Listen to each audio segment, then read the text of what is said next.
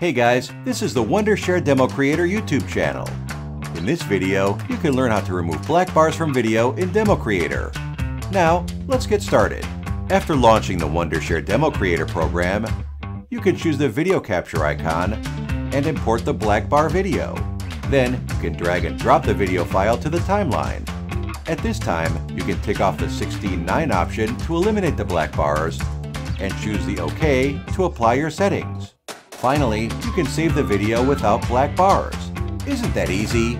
Okay, these are all the steps about removing video black bars in DemoCreator. If you found the tutorial helpful, don't forget to like the video and subscribe to our channel. Click the link in the description to try more powerful and professional features of DemoCreator for free, or comment to tell us on what you want to know. Use DemoCreator. Share your knowledge like a pro.